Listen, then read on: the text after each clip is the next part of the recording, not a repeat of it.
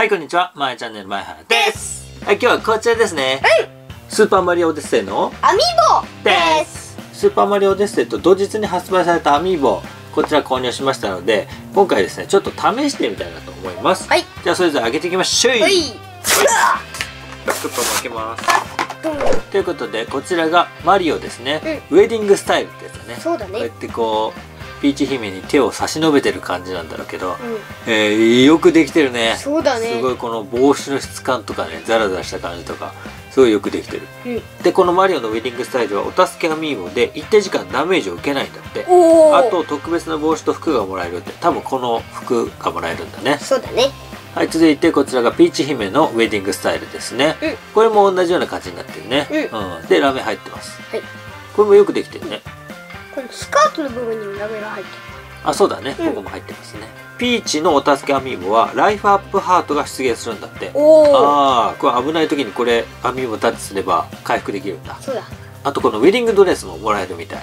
これねマリオが着れるみたいうなわはい最後にこちらクッパのウェディングスタイルですね、うん。これすごいね。ーうんこっち。すごいよこの背中の甲羅とかね。すごい。めちゃくちゃよくできてる。うん。すごい塗装もすごくよくできててね。うんこのお助けアミーボはローカルコインの場所を教えてくれるんだって。ああいいね。うん。ローカルコインね必要だもんね。そうだね。あとこの甲羅の服、うん。甲羅のウェディングスーツもらえるみたい。はい。で、それでですね、我々、えーゲームチャンネルの方で、マリオデッセイのゲーム実況やってるんですが、うん。えーアッチーナの、この部分に、あの、アミーボのマークがあるので、これ一回ちょっと押してみましょうか。はい。あアミーボアミーボおじさんっての出てきたね。うん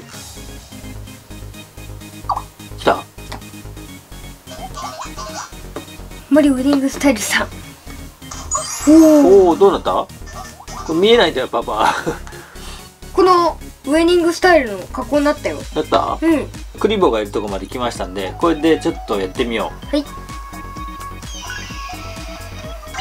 う。お、そして、これが、これ。えー無敵状態なのかな？あ当たるね。当たり判定があるけどただライフは減らないんだ。そうだなるほどね、うん。あの敵倒せるわけじゃないのねこれ。そうだね。そういう無敵だ。うん。はいはいはいはい。でこの音楽鳴ってる間だけだねこれきっと。そうだね。じゃあちょっと離れてみましょうか。で続いてピーチ姫もやってみましょう。はい。お出てきた。ああなるほどね、うん。これでいいんだね。じゃあ次クッパやってみようか。はい